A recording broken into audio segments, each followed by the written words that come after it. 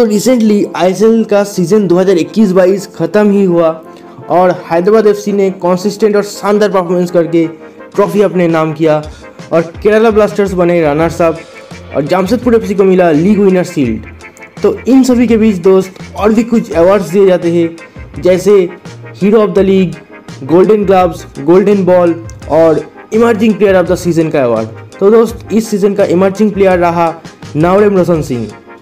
क्या magical player है? और ये नवडेम के लिए बहुत ही बड़ा अचीवमेंट भी है। तो हम इस वीडियो में नवडेम रोशन सिंह के इस शानदार जाने के बारे में जानेंगे। तो नमस्कार दोस्तों, मैं हूँ आपका दोस्त Subhdeep and welcome to another brand new episode of Indian sports 360 तो आई होप इस वीडियो से आप सभी दर्शकों को बहुत कुछ जानने को मिलेगा। तो प्लीज़ वीडियो को एंड तक देखते रहना। तो वीडियो शुरू करने से पहले आपसे एक छोटा सा रिक्वेस्ट है दोस्त। अगर आप इंडियन फुटबॉल के फ़ैन हैं तो प्लीज़ वीडियो को लाइक करना और अपने दोस्तों के साथ ज़रूर शेयर करना और चैनल को प्लीज़ सब्सक्राइब करके रखना। इससे हमें बहुत ज़्यादा सपोर्ट मिलेगा और भी इंडियन फुटबॉल रिलेटेड कंटेंट्स बनाने में। एक्चुअली मेरे जो भी दोस्त आई को शुरू से देख रहे हैं, उनमें शायद सभी को पता होगा कि प्रीवियस सीजन्स के जो इमर्जिंग प्लेयर्स थे, उनमें से ज़्यादातर प्लेयर्स अभी इंडियन फुटबॉल के स्टार खिलाड़ियों में से गिना जाता है। तो इसीलिए रोशन के लिए ये इमर्जिंग प्लेयर बनना एक ह्यूज सक्सेस है। एंड आई नो क्या आप सब जानना चाहेंगे कि नारेम रोशन सिंह ने कैसे ऐसा संभव किया। तो देखिए, उनका जो रास्ता था it was not very smooth उनका जन्म हुआ था मणिपुर के समूडो डिस्ट्रिक्ट में, जो कि एक दुर्गम पहाड़ी इलाका है। नाउ डेवलपिंग बट उनके समय में ज़्यादा कुछ नहीं था। और वहाँ से फिर नेशनल टीम तक का सफ़र बहुत ही हार्डल्स से भरा हुआ था इस तेईस साल के खिलाड़ी के सामने। तो बचपन से रोशन का फुटबॉल में बहुत इंटरेस्ट था, इसीलिए उन्होंने अमोफा नाम के एक मणिपुर के फुटबॉल एकेडमी को ज्वाइन किया बहुत ही यंग एज में। एंड देन जूनियर नेशनल्स में उनका बहुत ही इम्प्रेसिव परफॉर्मेंस रहा, जहाँ पे वो मणिपुर स्टेट को रिप्रेजेंट कर रहे थे और वहाँ से ही A I F F scouts के नज़रों में आ गए और फिर ए ने बोला कि भाई ए एफ़ एलिट अकेडमी को ज्वाइन कर लो गोवा में।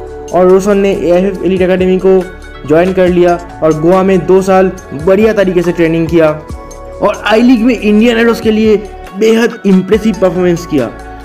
और उनके इस टैलेंट को देख के बेंगलुरु एफसी के स्काउट्स जो थे, वो बहुत ही इम्प्रेस्ड हो गए और बोले कि भाई, इस खिलाड़ी को तो हम ही लेंगे टीम में। और जैसा बोला, ऐसा कर दिया। 2017 में रोशन ने बेंगलुरु एफ़ बी टीम के लिए अपना पहला प्रोफेशनल कॉन्ट्रैक्ट साइन किया। जब उनका उम्र था सिर्फ़ अठारह साल और वो बने अपने गाँव का पहला प्रोफेशनल फुटबॉलर और अपने गाँव का नाम भी रोशन किया। और उससे पहले दोस्त, इनको F C under 19 championship qualifiers के लिए इंडिया की एज ग्रुप टीम में सिलेक्शन मिल चुका था। तो बेंगलुरु एफ़ बी टीम के लिए इन्होंने I league second division under 18 youth league में नौसद मूसा सर के अंडर में अपने आप को और बेहतर करता गया। In fact Bengaluru district football association के जो सुपर डिवीज़न लीग मतलब कर्नाटक के जो लोकल लीग होते हैं, वहाँ पे बेंगलुरु एफ़ बी टीम के लिए ऐसा शानदार परफॉर्मेंस किया कि कर्नाटक फुटबॉल एसोसिएशन ने कहा रोशन को कि हम आपको कर्नाटक स्टेट टीम में लेना चाहते हैं। सोचिए एक मणिपुर का लड़का जो मणिपुर स्टेट टीम के लिए खेल चुका था बहुत ही छोटी उम्र में, फिर एक दूसरे स्टेट ने अप्रोच किया उनको अपने स्टेट टीम में खेलने के लिए। तो आप समझिए इनके टैलेंट को। तो कर्नाटक के स्टेट टीम के लिए खेला संतोष ट्रॉफी में और सेमीफाइनल तक भी पहुँचा है अपनी टीम को। Then Bengaluru F B team का कप्तान बनाया गया इनको। तो यहाँ तक आने के बाद 2020 में बेंगलुरु एफसी के सीनियर टीम में इनको प्रमोट किया गया। उनके इतने सारे कारनामे को देखते हुए। बट दोस्तों 2020 में इस लेफ़्ट फुटेड गिफ्टेड फुलबैक को तो ज़्यादा चांस नहीं मिला सीनियर टीम में। इसीलिए वो कुछ कर भी नहीं पाया। बट उसके बाद एफ़ कप में और 2021 के डुरान कप में उन्होंने एक छोटा सा ट्रेलर दिखाया कि वो क्या कर सकता है। अभी तो उनका जलवा दिखाना बाकी था। और इस सीज़न मतलब 2021-22 के आई में शुरुआत से जब बेंगलुरु एफसी थोड़ा लड़खड़ा रहा था देन एंट्री हुआ इस भाई साहब का। और क्या शानदार खेला है भाई फुल बैक पोजिशन में। अपने स्पीड ड्रिबलिंग स्ट्रेंथ से सबको बीट करते हुए क्रॉस दागते थे।